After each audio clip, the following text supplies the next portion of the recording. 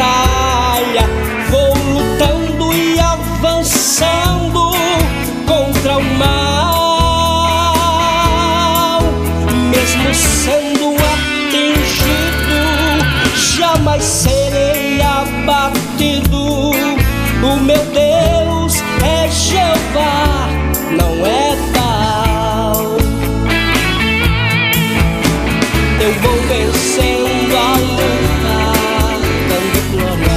Eita Jesus, eu vou vencendo a luta dando glória. Aleluia! É Bom dia, bom dia, bom bom dia, bom dia, bom dia, bom dia. Ela fica olhando para mim rindo. Eu acho feliz, eu fico feliz quando ela, quando ela olha para mim e ri, né? Eu gosto de arrancar sorriso dela. E às vezes é um esforço danado para arrancar, mas assim quando ela ri à toa, só pra molhei meu cabelo um pouquinho ali, ela já ficou rindo. Por que, amor? Eu fiquei com a cara lambida, foi? Bom dia, bom dia, bom dia, povo de Deus. Bom dia, meu pastor. Bom dia, meu Bom dia, povo de Deus. Bom dia, essa família linda e maravilhosa, né? Que são nossas ovelhinhas de perto e distante. E tem, somos gratos a Deus por vocês abrirem né, a casa de vocês para deixar o nosso Deus entrar. É assim. Então deixe ele fazer morada. Quarta-feira, hoje é quarta profética, É. mas nós estamos já aqui glorificando o nome do Senhor.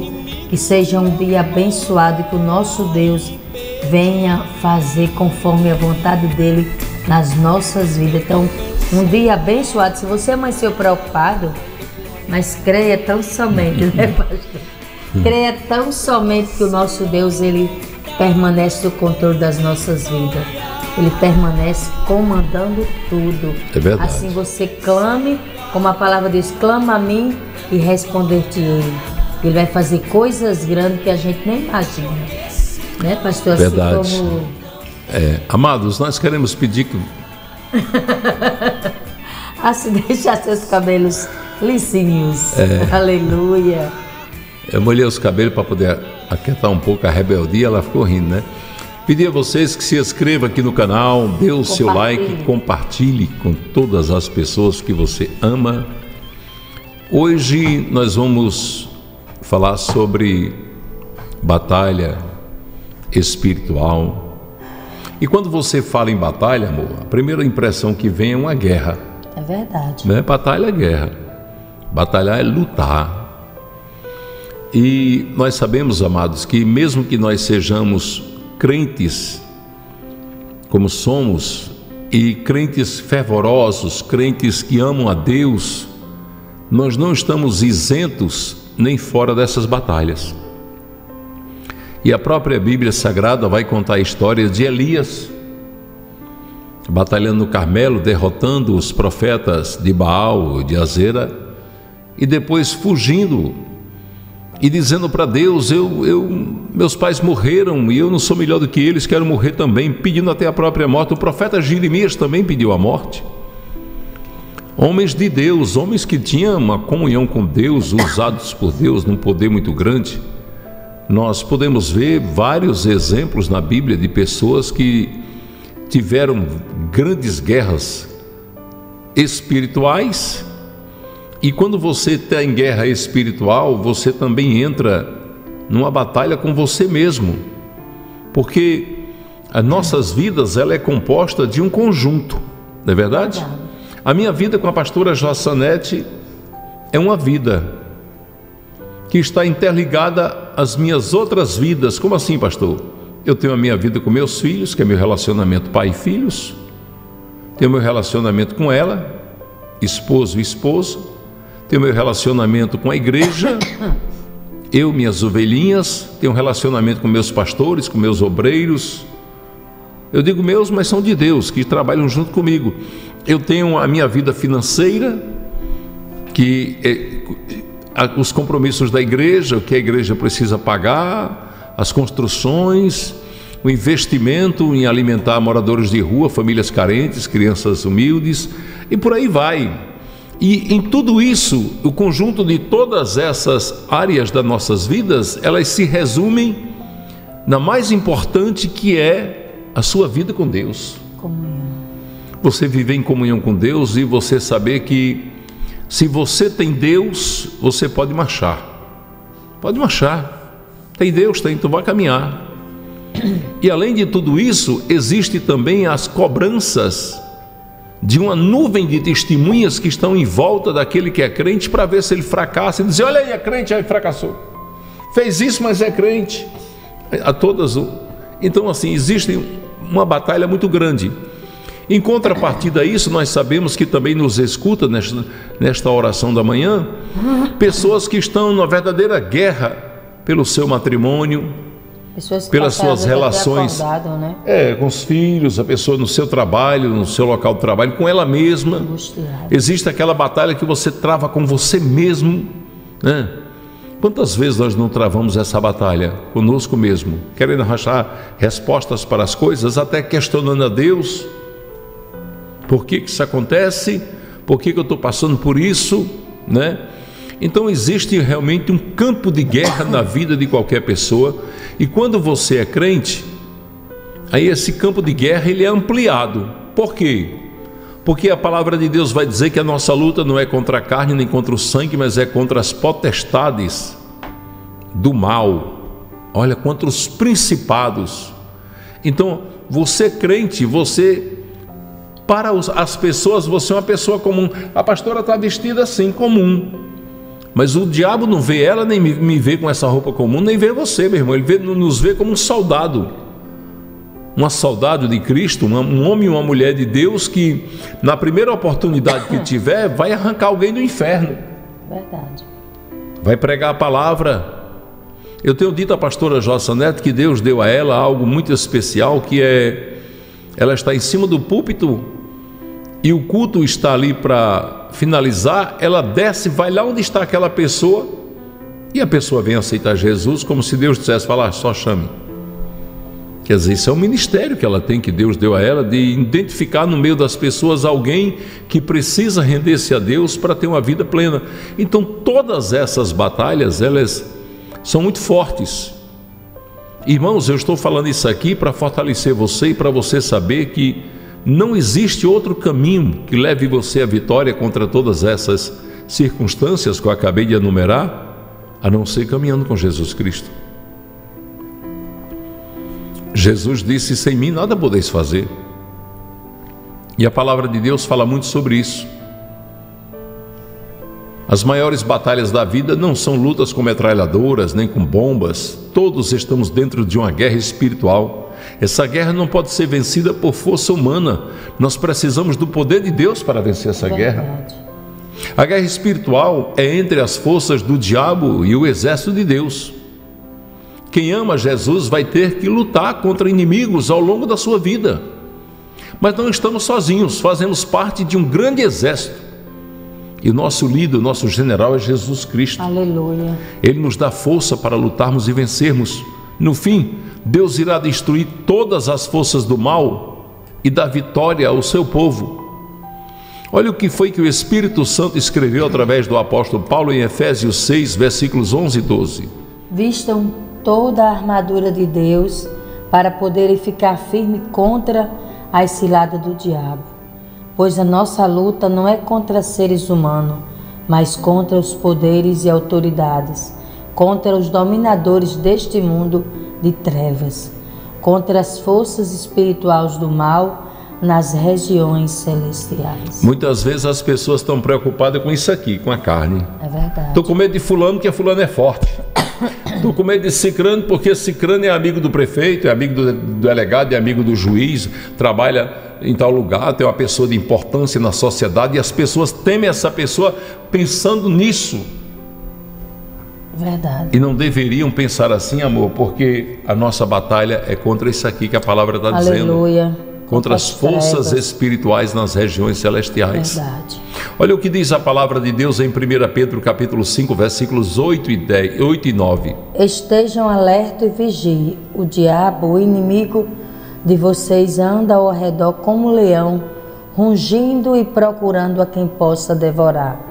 Resistam-lhe, permanecendo firme na fé, sabendo que os irmãos que vocês têm em todo o mundo estão passando pelos mesmos sofrimentos. Você vê que a palavra de Deus aqui está dizendo que nós devemos resistir, Aleluia. permanecer firmes na fé e ter a certeza que os nossos irmãos no mundo inteiro também passam pelas mesmas aflições. Verdade.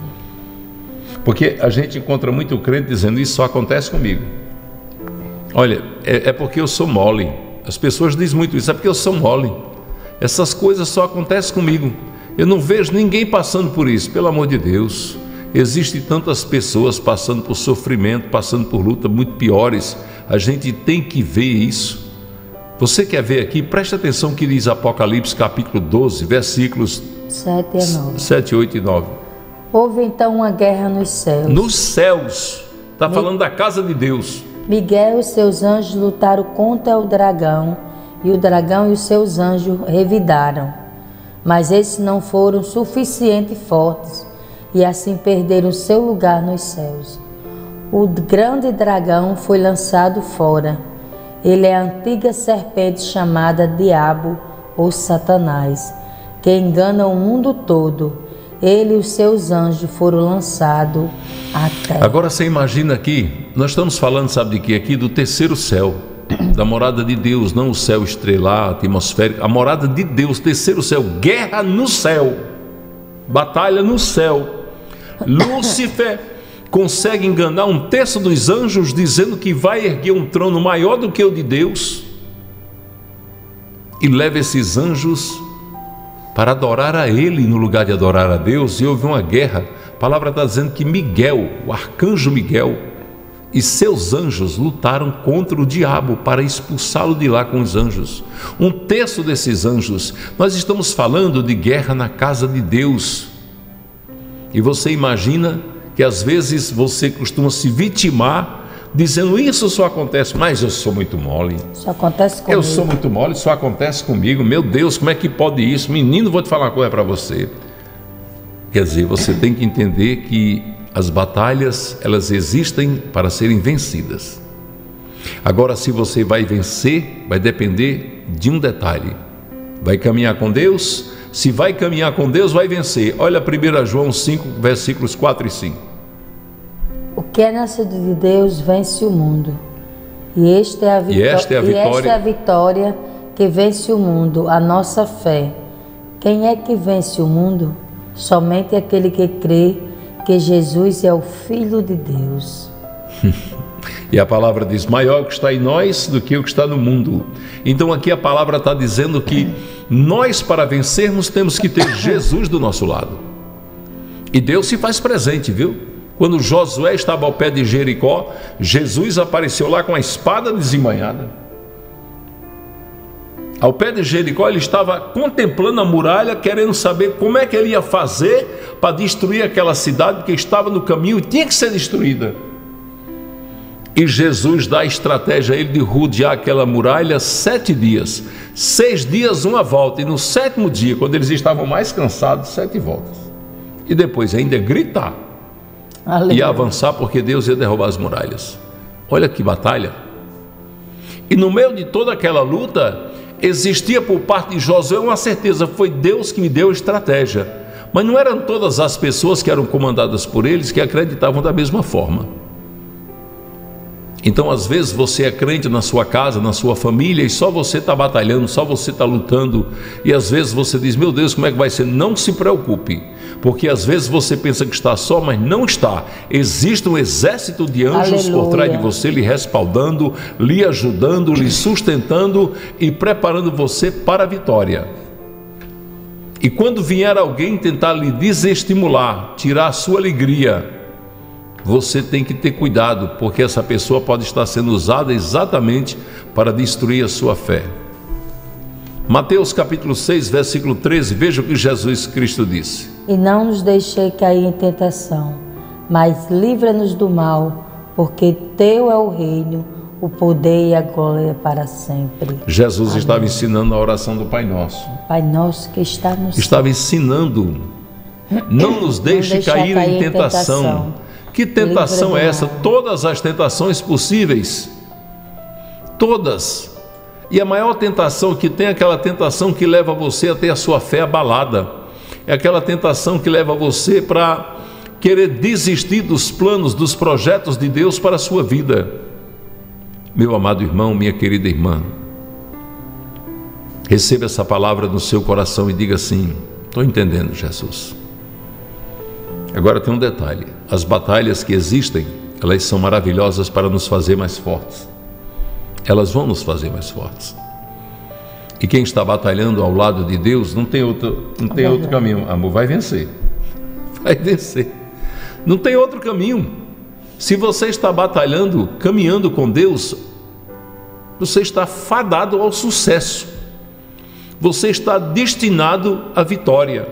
Não existe outro caminho, porque não existe fracasso para quem caminha com Deus. É verdade. Vamos orar, irmãos? Aleluia. E a nossa oração hoje vai ser uma oração pedindo a Deus, sabe o quê? Pedindo a Deus que direcione os nossos pensamentos. Santo Deus, eterno e poderoso Pai. Sim. Pai querido, Deus amado, a nossa oração, Paizinho, é para pedir ao Senhor que o Senhor leve-nos a sempre crer que a tua potentosa mão está estendida, que o teu olhar misericordioso está sobre nós, Pai. Que não importa, Deus, as situações mais adversas que estejamos enfrentando, não importa. O importante é termos a certeza de que o Senhor está no controle de todas as coisas. Pai, o Senhor sabe.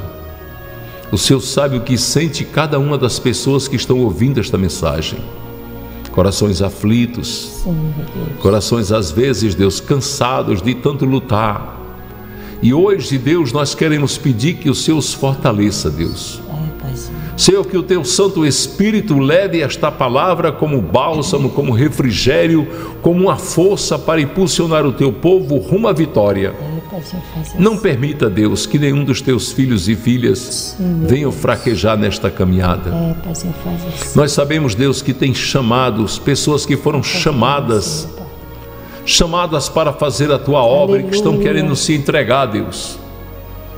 Pessoas que olham, Deus, e não vê o resultado porque está olhando para o exterior, mas o Senhor já está trabalhando no interior, porque o teu trabalhar, Deus, é de dentro para fora.